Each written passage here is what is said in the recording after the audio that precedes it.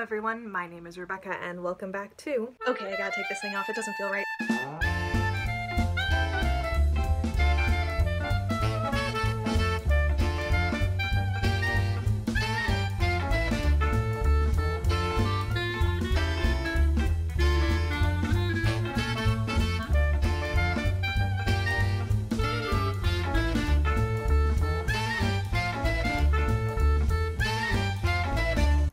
Apologies in advance if I seem a little bit low key in this episode. I think I'm coming down with a little bit of a cold, and as those of you who follow me on Tumblr will know, I'm already stretched a little bit thin between full time work and full time grad school right now but we're pushing through. I've talked before about how BBC Sherlock is structured like a romance, and how the minor characters on the show are often put there to mirror John or Sherlock. Today's topic is kind of related to both. We're going to be looking at how to make a relationship important in a work of fiction, and more specifically, how to make your audience constantly feel the urge to find a relationship to root for. One of the main ways you can tell that BBC Sherlock is a romance is through all the allusions to romance and relationships on the show. Because the vast majority of these are going badly or end tragically, it causes the audience to subconsciously look for a good relationship to balance things out. The more allusions to bad relationships, the more important the exemplar relationship will have to be to restore balance. This is why the vast majority of the audience clings to a relationship on the show, even the ones who say they only enjoy it for the cases or the friendship. But another thing the writers have done to further their main goal with the show is to make almost every potential major relationship, and by that I mean a relationship involving one of the two main characters, completely unviable. Do people ignore this?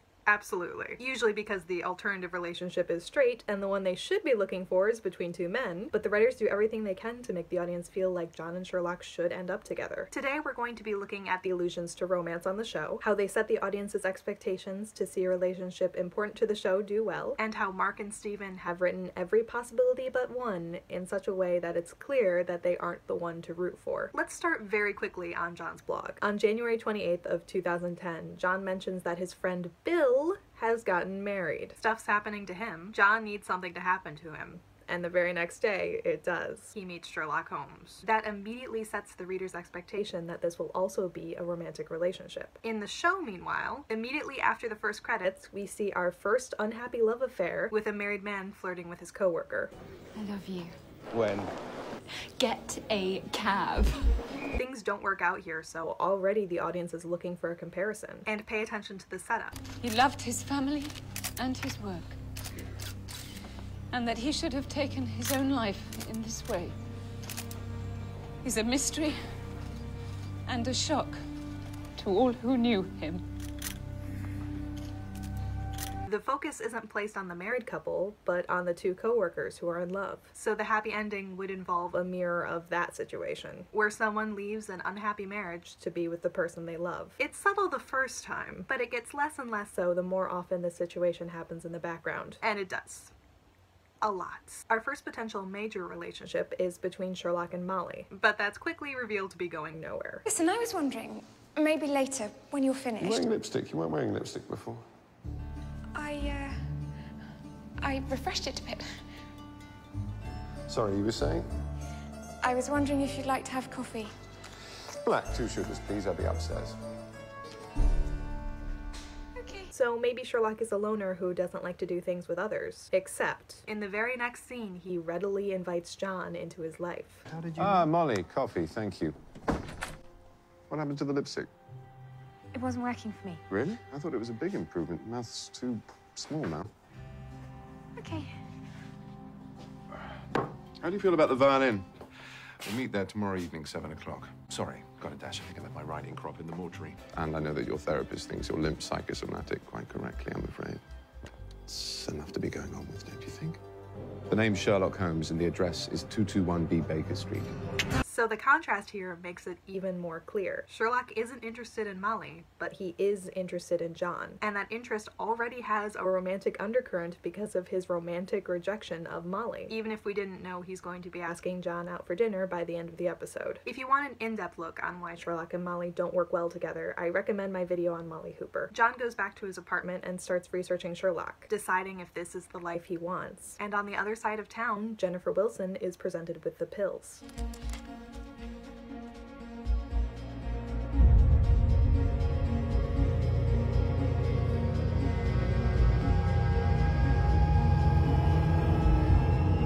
Timing here makes it clear that the pills Hope offers his victims represent the chance that John and Sherlock are taking on their new relationship. It could be fatal, but it could also be the thing that saves them. Jennifer chose wrong, and by coincidence, was having a string of unhappy affairs. We'll later get strong coding that Sherlock chooses wrong because John chose the wrong building at the same time Sherlock was choosing the pills, and his incorrect assumption was that Hope was offering him poison.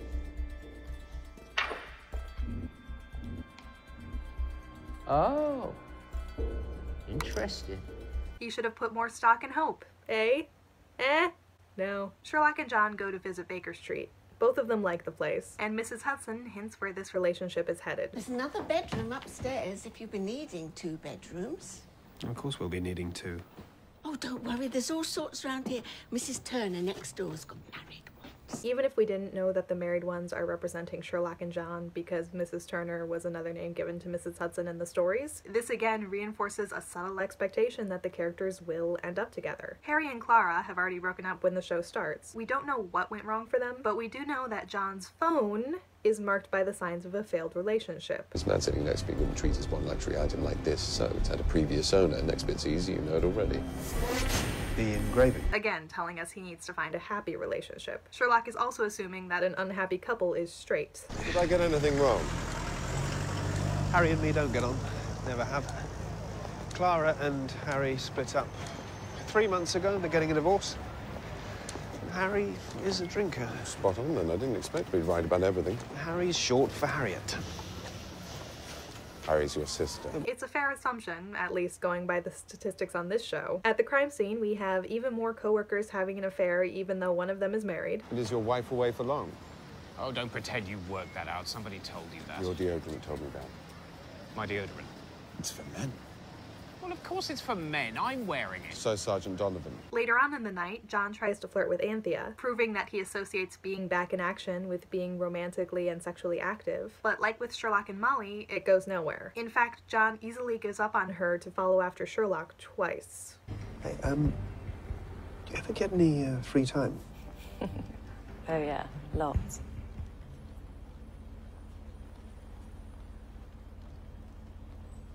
Bye. Okay.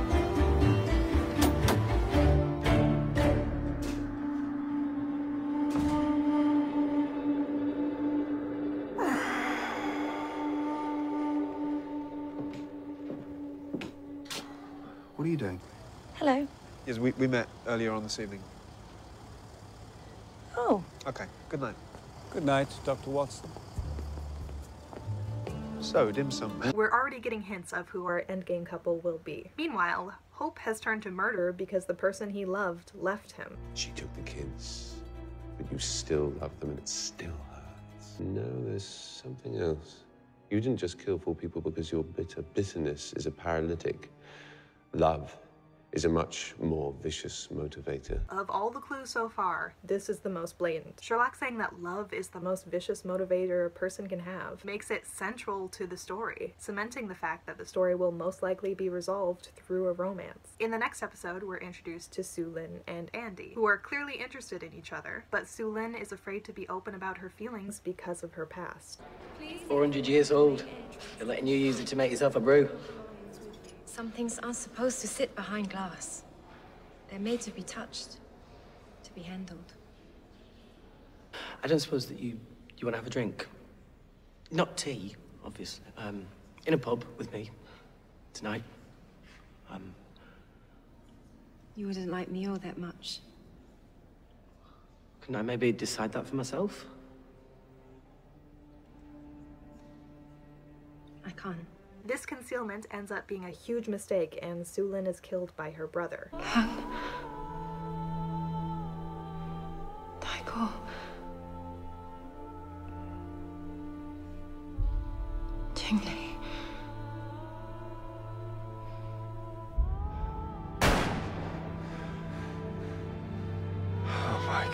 She really should have talked to Andy. Because the episode takes time to let the audience feel the weight of Soo Lin's death, we, the audience, again feel the need to find a happy relationship to balance it. And at first, it looks like we might have one. John tries to go on another date in this episode, again showing that part of what he needs to be fulfilled is a relationship. But not only does Sherlock suggest that he go on a date with him instead, I need to get some air. We're going out tonight. Actually, I've uh, got a date. What? It's where two people who like each other go out and have fun. That's what I was suggesting. But when Sherlock crashes the date, John spends most of his time focusing on Sherlock and not Sarah. You said circus. This is not a circus. The size of this crowd. Sherlock, this is art. This is not their day job. No, sorry, I forgot. They're not a circus. They're a gang of international smugglers. Sarah eventually starts to get the hint. Well, I think perhaps I should leave you to it. John doesn't let her leave though, and they end up being kidnapped. In fact, something goes wrong every time John goes to see Sarah, whether it's an explosion on Baker Street or getting kidnapped yet again. She's definitely not the option to root for for John then, so we look for other options, even if you continue to ignore the most obvious one. We get more hints in the great game of unhappy domesticity. Yeah, well, then, then I've done it. Did it? Did it? stop her! Over and over. Molly's new relationship really isn't going well. Not only is he the main villain, but he's also gay and in love with Sherlock. Hi. So you're Sherlock Holmes. Molly's told me all about you. You're on one of your cases. Jim works in IT upstairs. That's how we met. Office romance. Gay. Sorry, what? Nothing. Um, hey. Hey. Bye. It was nice to meet you. This suggests that Molly might have a type gay men. Ian Monkford also really wanted to get away from his wife. Mrs. Monkford cashes in the life insurance and she splits it with Janus Cars. M- Mrs. Monkford. Oh, yes, she's in on it too. Like Soo Lin and Andy, Lucy and Andrew West, and tragically because Andrew is hiding things. Last seen by his fiancée at 10.30 yesterday evening. Lucy, love, I've got to go out. I gotta see someone. Westy! Unlike some of the couples in this episode, for them it wasn't that their relationship was bad, but that someone came between them.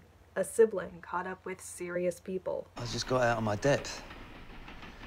I owe people thousands.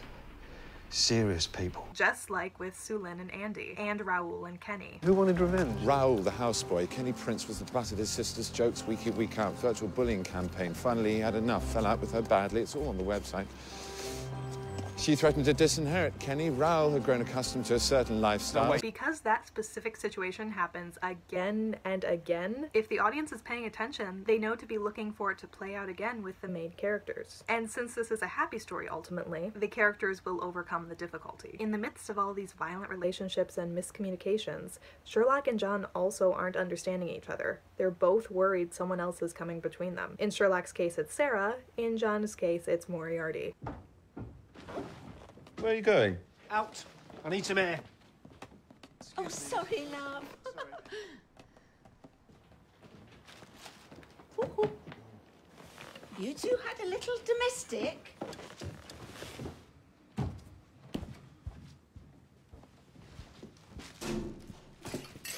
So why is he doing this then? Playing this game with you? Do you think he wants to be caught? I think he wants to be distracted. I hope you'll be very happy together. Sorry, what? That's something that needs to be fixed. And all these failed relationships in the background suggest that it will be fixed when both of them are in a relationship. But if they're both so worried when someone appears to be coming between them, how would a relationship with anyone but each other work? And then, of course, there's the biggest example of how comparison makes a relationship between Sherlock and John seem inevitable Moriarty and his obsession with Sherlock. Not only does he approach him in disguise to flirt with him, he flirts with him at literally every chance he gets.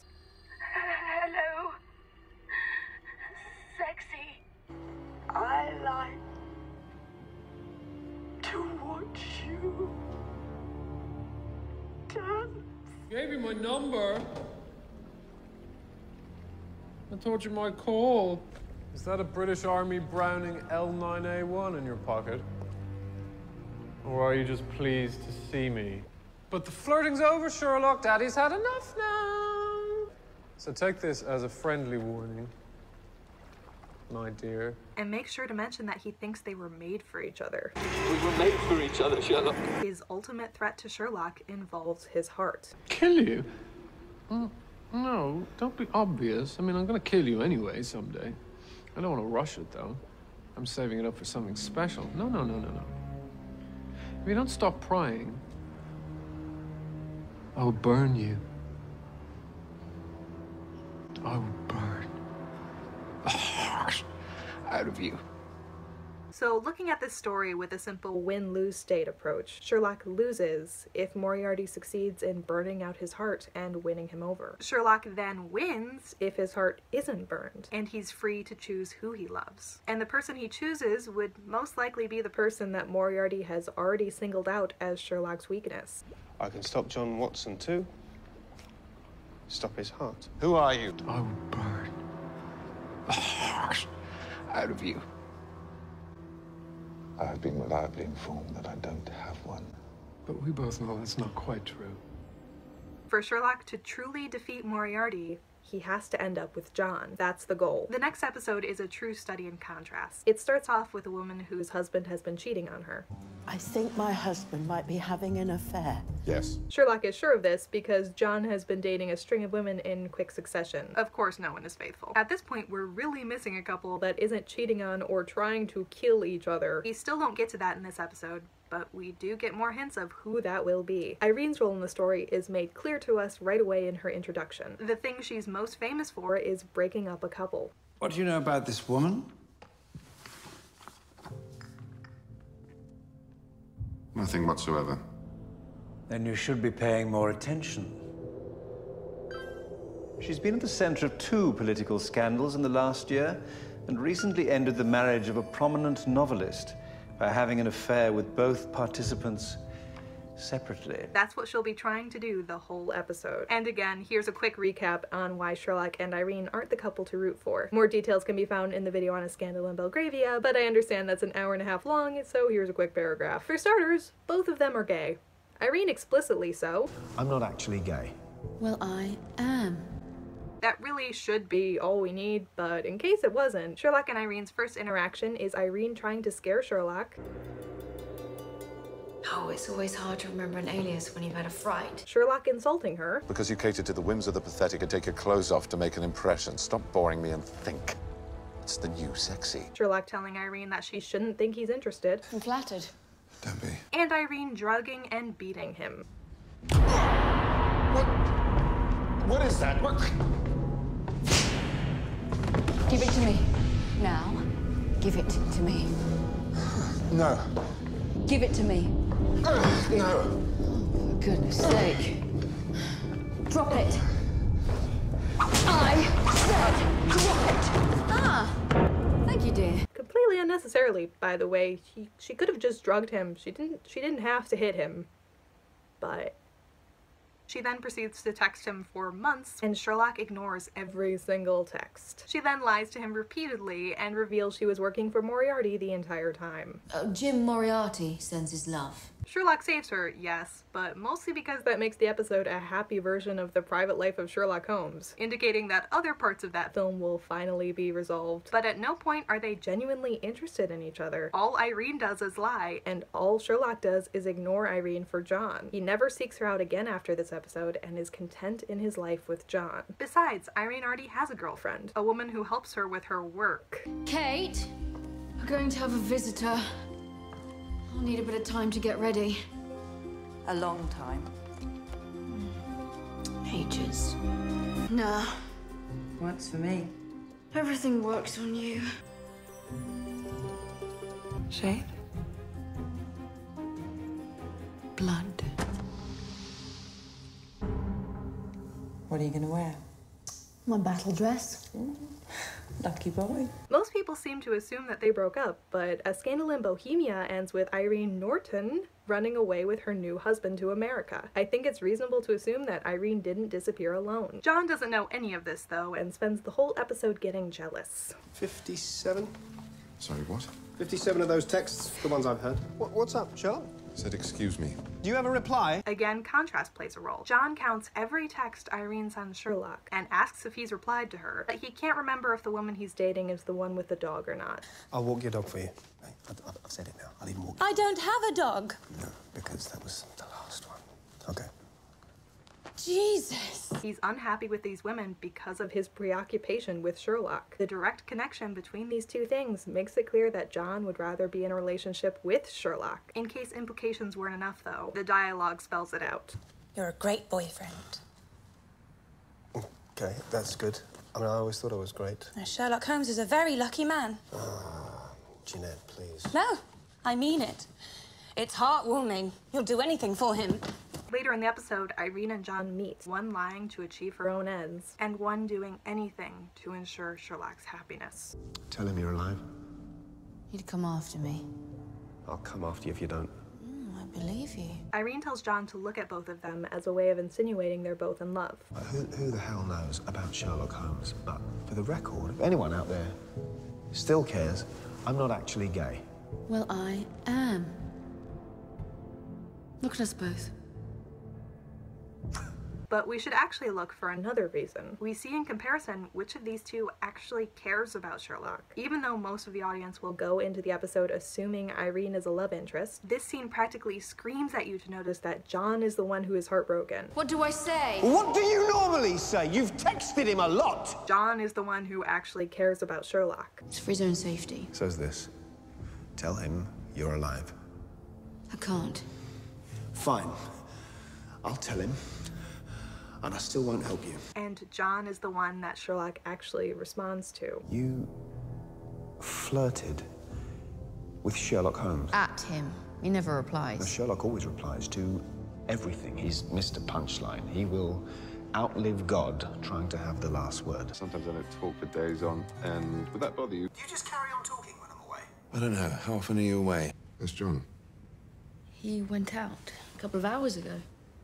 I was just talking to him. He said you do that. Does that make me special?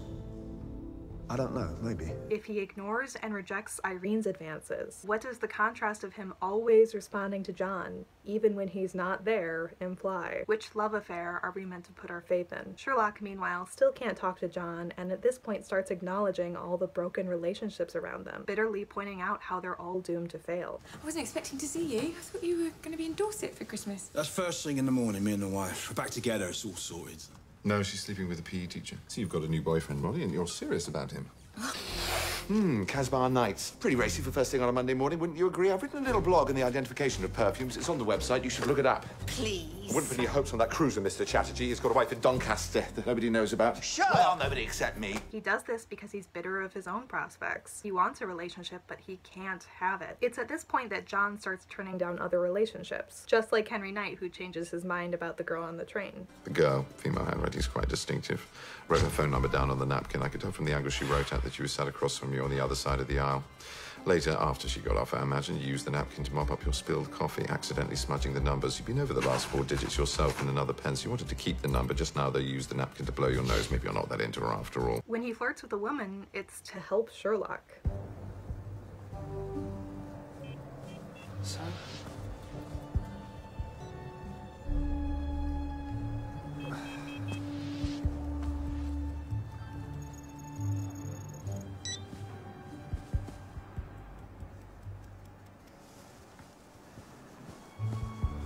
Oh, you're a bad man. And it only lasts about five minutes before she realizes that he's in love with someone else. Sherlock Holmes. Sherlock who? Private detective. This is his PA. PA.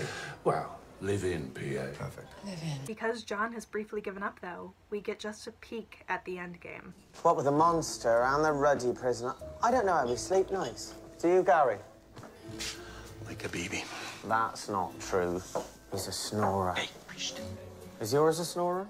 Crisps? Again, it's important that we only get this glimpse of happiness after John has stopped trying to date other people. The only difference between the married couple and John and Sherlock is that Billy and Gary have been open about their feelings. That's all that's missing for the happy ending that John wants. John says himself that his life with Sherlock isn't compatible with long term relationships with other people, so maybe he'll magically find a woman who doesn't mind playing second fiddle to Sherlock, or just using Occam's razor, we know that he's going to end up with Sherlock. But they aren't to their happy ending yet. Again, Sherlock and John's relationship struggles are set against a swarm of other romantic problems. At the trial, Sherlock points out the jurors who are having an affair with each other. Seven are married into having an affair with each other, it would seem. Oh, and they've just had tea and biscuits. Again, having an affair with someone they work with. Kitty propositions Sherlock, offering to set the record straight. You and John Watson, just platonic. Could I put you down for a no there as well?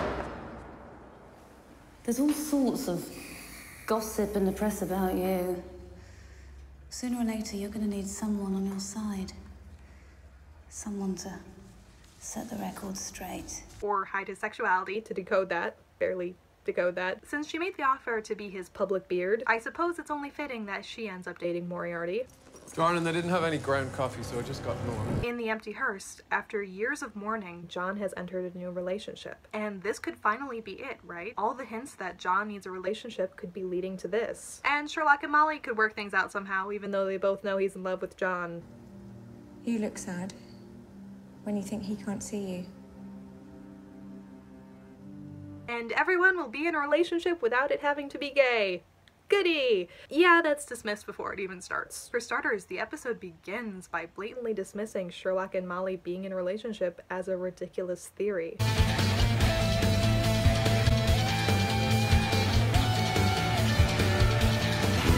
Bollocks! And when we see John for the first time in years, he still looks as empty as he did at the end of Reichenbach. It's here that Mary comes into frame. Presented as a crutch John is using to cope with Sherlock's loss.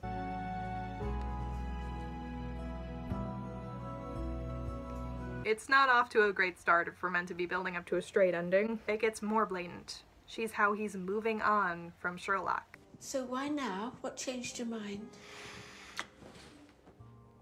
Well, I've got some news.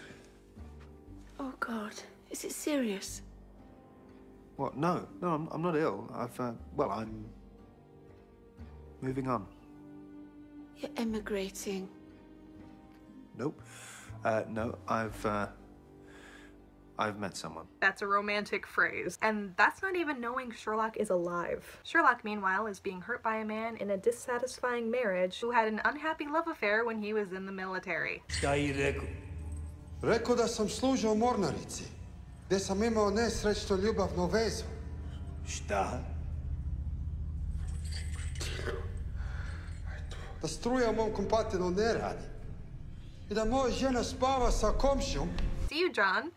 I see you. Sherlock frees himself from his torture by confirming to the man that his wife has been lying to him. I ako odem kući sad, uhvatit ću ih zajedno. Znao sam, znao sam da se nešto dešava.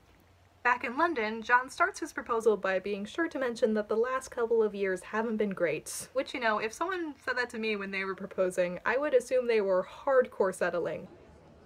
I know it hasn't been long. I mean, I know we haven't known each other for a long time.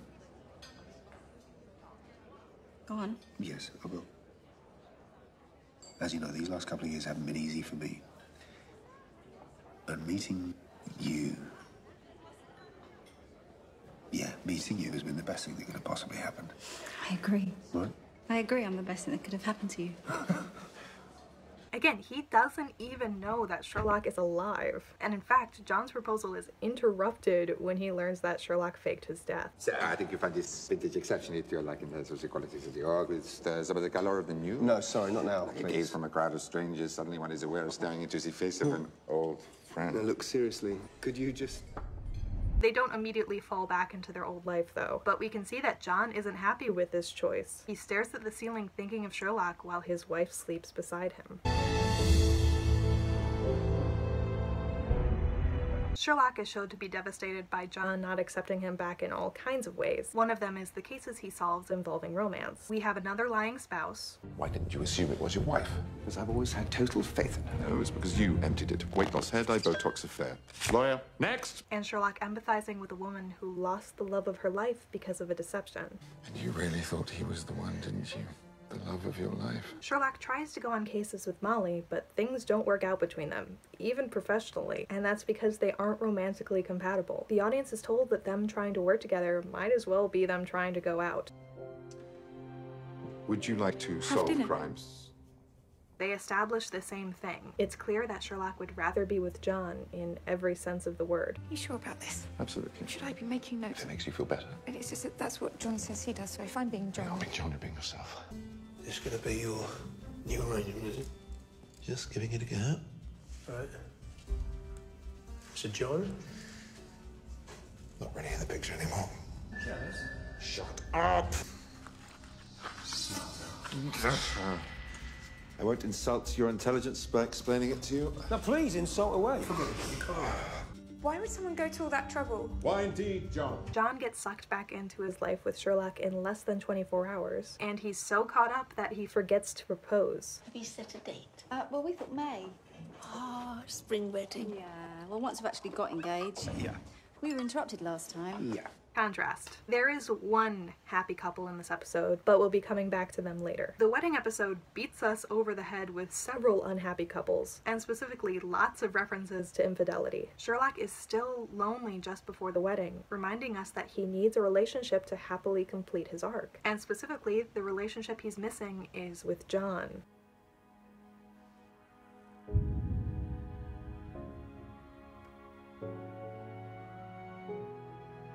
Janine flirts with him, but it doesn't go beyond a comment that Sherlock is textually frightened by.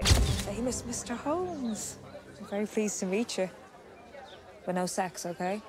Sorry. You don't have to look so scared. He starts pointing out other men instead, including a divorced doctor. That's the sort of thing you're looking for. The man over there in blue is your best bet. Recently divorced doctor with the ginger cat. A bone conversion and a history of erectile dysfunction. And a man compulsively cheating on his partner. Long-term relationship, compulsive cheat. Seriously? Waterproof cover and a smartphone. Yet his complexion doesn't indicate outdoor work. Suggests he's in the habit of taking his phone into the shower with him, which means he often receives texts and emails he'd rather went unseen. John's marriage could be the exemplar to disprove the pattern if the whole episode weren't about Sherlock and John's love for each other, making the wedding just another part of the unhappy statistic. We're still being told to look for an affair. We also start getting hints of what John is actually looking for in a relationship. He has a type. He's pretty calm at the reception, but he lights up when he sees Sholto. Oh, God, wow. Is that. He came. This is his wedding day. It seems like that kind of look would be reserved for his wife. Apparently not. He's more into reclusive, brave men who can lead him into adventure. Press and the families gave him hell. He gets more death threats than you. Well, I wouldn't count on that. John says he's the most unsociable man he's ever met. He is. He's the most unsociable. Ah, that's why he's bouncing around him like a puppy. Sholto is coded like an X. So why don't you see him anymore? Who? Your previous commander, Sholto. Previous commander? I meant X. They're such good friends. Why does he barely even mention him? He mentions him all the time to me. He never shuts up about him. Oh, Sherlock. Neither of us were the first, you know. Even if nothing ever actually happened between them. And John isn't getting what he got with Sholto with Mary. We're told time and again that Sherlock is the one filling that role in his life now. Mr. Holmes, you and I are similar, I think. Yes, I think we are. We'll hear later that John knows that he's attracted to this type, but that he specifically chose his wife because she wasn't like that. John, you are addicted to a certain lifestyle. You're abnormally attracted to dangerous situations and people, so is it truly such a surprise that the woman you fall in love with conforms to that pattern? But she wasn't supposed to be like that. Why is she like that? He's not attracted to her. What does that comparison imply? In his best man speech, Sherlock alludes to a touching case. Touching cases? She's going to ring the doorbell. Oh, no, she's changed her mind. But she's going to do it. No, she's leaving. She's leaving. oh, she's coming back. She's a client. She's boring. I've seen those symptoms before. Hmm? Oscillation on the pavement always means there's a love affair. That scene is so vague that it practically begs you to check the blog entry, which is helpfully titled Happily Ever After, just in case we couldn't have gotten by ourselves from reading it that this is how the story will end. What happens? A client comes to Sherlock claiming that her husband is having an affair, presenting the main problem as his lying. But it then comes out that she was blackmailed into marrying him because he knew her sexuality, and that she's actually in love with another woman. Sherlock encourages her to be with the person she loves, and sure enough, she divorces her spouse, comes out, and is publicly with the woman she loves. And they lived happily ever after. Real subtle there, guys. In this episode, Mrs. Hudson's marriage starts being set up as a parallel to John's, which is hilarious when you consider that this is the first thing we ever hear about Mrs. Hudson's marriage. Uh, oh, Mrs. Hudson, the landlady, she's given me a special deal. Owes me a favor. A few years back, her husband got himself sentenced to death in Florida. I was able to help out. Sorry, you- you stopped her husband being executed? Oh, no, I ensured it. Sherlock. In case that wasn't enough, though, Got in with a really bad crowd. Right. And then I found out about all the other women. I didn't have a clue. So, when he was actually arrested for blowing someone's head off, it was quite a relief, to be honest. And then we get the Mayfly Man, a man named John who dates a string of women ending with a nurse without feeling any emotional connection to them. Why would he date all of those women and not return their calls? You're missing the obvious, mate. Am I?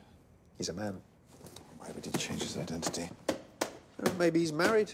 These comparisons are getting a lot more direct because the writers wanted to be clear that John and Mary still aren't the couple we should be looking for. In the next episode, we open with a woman being blackmailed through the man she is in love with because of someone else he was involved with. In 1982, your husband corresponded with Ellen Catherine Driscoll. That was before I knew him. The letters were lively, loving, some would say explicit. She was 15. Later in the episode, Sherlock is blackmailed because the man he's in love with is involved with someone dangerous. Well, look how you care about John Watson. Your damsel in distress. Sherlock's pressure point is his best friend, John Watson. John Watson's pressure point is his wife. I own John Watson's wife. I own Mycroft. Just as we know not to root for Lord Smallwood and the 15 year old, we should know not to root for John and Mary. Also, in the beginning of this episode, we're told that Molly and Tom have broken up in the same episode that John and Mary have done nothing but bicker over Sherlock. Sorry your engagement's over. I'm fairly grateful for the lack of a ring. But is it Sherlock Holmes you want? Because I've not seen him in ages. About a month. Who's Sherlock Holmes? See? That does happen. So again, the other relationship introduced in the Empty Hearse is failing, letting us know again that John and Mary aren't the endgame couple. This is before the reveal of Mary's true identity, mind you. Meanwhile, Sherlock is dating a woman now, but that's completely fake too. You lied to me. You lied and lied. Exploited the fact of our connection. When? Hmm? Just once would have been nice. I was waiting until we got married. That was never gonna happen. Why though? Why couldn't they have Sherlock dating a woman after the wedding and John and Mary being happily married with a baby on the way? That gives both of them relationships, resolving that part of the narrative. Right? It doesn't though. Even leaving aside the fake relationship, John clearly isn't happy. This isn't the resolution. Mary isn't who John is meant to end up with. This is made all the more clear when she's revealed to be a villain and shoots Sherlock. You. What have I ever done? Hmm? My whole life to deserve you. Mary isn't a viable option for John. That leaves only Sherlock. And again, at this point, we get a glimpse of the future he wants. Did you write this? Oh, that silly old thing. You mustn't read that. Mathematics has seemed terribly fatuous now. Now, no humming, you. Complete flake, my wife, but happens to be a genius. She was a mathematician. Gave it all up for children. I could never bear to argue with her. I'm something of a moron myself. But she's unbelievably hot. He's lovely mum and dad. Fine example of married life. I get that. The attractive genius and the stalwart man beside her. A fine example of married life indeed. It's an ideal he'll reach with Sherlock, not Mary. What about Sherlock then? At this point, if you want to be really obtuse, there are still three options for him. He can end up with Moriarty, which you'll remember is how Sherlock loses the story. He could end up with Molly, even though we've been told time and again that they aren't compatible and that they both know he'd much rather be with John. Or he can end up with John, which we've been told time and again is the option to root for. Does that still hold true? Will we get a full 90 minutes to explore what Sherlock is thinking and what he wishes would happen? He clearly thinks that John and Mary are doomed to fail because of him. You have recently married a man of a seemingly kindly disposition who has now abandoned you for an unsavory companion of dubious morals. You've come to this agency as a last resort in the hope that reconciliation may still be possible. Mary, John, why in God's name are you pretending to be a client? Because I could think of no other way to see my husband. Husband. It was an affair of international intrigue. It was a murdered country squire. Nevertheless, matters were pressing. I don't mind you going, my darling. I mind you leaving me behind. But what could you do? Well, what do you do? Except wander around taking notes, looking surprised. His dream is filled with unhappy relationships, in fact. It's a shotgun wedding. He knew her out in the States. Promised her everything marriage, position. And then he had his way with her. And threw her over. Left her abandoned and penniless. Emelia thought that she found happiness with Ricoletti. But he was a brute too. Despite this, he's afraid all of that isn't enough, that John will leave him for Mary anyway. I. I thought I was losing you. I thought perhaps we were neglecting each other. Well, you're the one who moved out. I was talking to Mary. We have a case. We have a real life problem right now. Getting to that, it's next on the list. Just let me do this. Now, everyone always lets you do whatever you want. That's how you got in this state. John, please. I'm not playing this time, Sherlock. Not anymore. When you're ready to go to work, give me a call. I'm taking Mary home. You're what? Mary's taking me home. Better. And that he's doomed to be left with Moriarty. This is how we end, you and I. Always here. Always together. No. Don't try to fight it. Lie back and lose. Shall we go over together? It has to be together, doesn't it? At the end, it's always just you and me. That moment of silence in this scene is crucial. What happens next will decide everything. Sherlock is faced with his ultimate doom, being tied to Moriarty forever. So how he gets out of this situation will tell us if not how things will end, at the very least how Sherlock would like them to end. Does he save himself? Proving that he was only ever a solitary detective, that they aren't changing the story, that there really is no update here. No, someone saves him. Fine, is it his brother? Obviously not. The situation is far too romantic for familial ties to fix things. That's the whole point of this video. There has to be a romantic resolution. Okay, so what about our other options? Is it Irene, or Janine, or Molly, or even Mary? Of course not. Because if they're changing the story, or rather if they're unveiling the true story that was left untold in the canon, there's really only ever been one option. At the end, it's always just you and me.